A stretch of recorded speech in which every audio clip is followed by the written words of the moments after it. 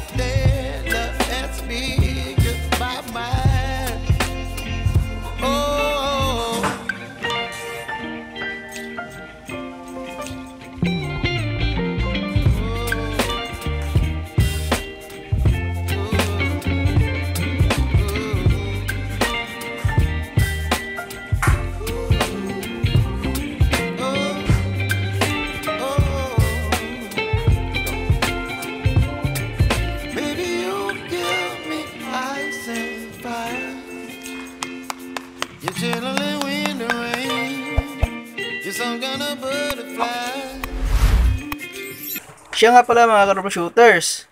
Kung mahilig po kayong magbuting-ting ng mga gamit katulad po nito, ay marami na po ako mga na-upload na mga video about sa troubleshooting o pag-repair ng mga gamit.